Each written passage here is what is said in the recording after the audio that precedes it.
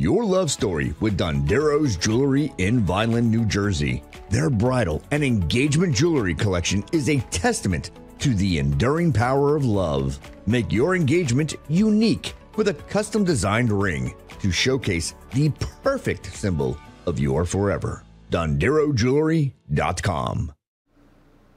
Happy Tuesday, everyone. We've been pretty dry all day today, but we're starting to see that rain lift up out of the south and roll across our area. That'll be sticking around for the overnight hours and into at least early tomorrow morning.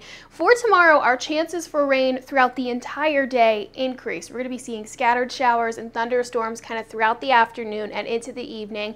Temperatures in the 80s, probably not as much sunshine for tomorrow as we saw today, but we'll see some quick changes on the way as we look forward to the end of the week and into the weekend. Beautiful clear skies, sunshine, the rain chances fall off too. It's really just tomorrow and Thursday that we still have to deal with the moisture. Also going to be very muggy for tomorrow and Thursday as well. But by Friday, we turn that corner, we'll usher in some drier air, the dew points fall into the 60s, and we will be extremely comfortable for this weekend. We have this low pressure system bringing us our first round of rain for overnight tonight. Then on the back end of that, we'll see another round of rain on the way for your Wednesday afternoon and into the evening. Then for your Thursday, what we're dealing with is going to be these two different cold fronts trying to push across our area. The northern cold front is the one that ushers in the drier, more comfortable air for the weekend, but it has to wait for that southern cold front to push out of the way to uh, kind of bring in that nicer air. So as we move through our Thursday, that's what we're going to be fighting with is those two fronts trying to clear the area,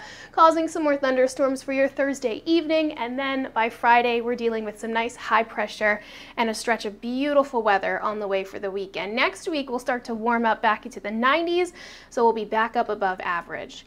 Okay, I hope you guys enjoy the rest of your evening. Stay safe, sleep tight, and I'll check in with you uh, tomorrow.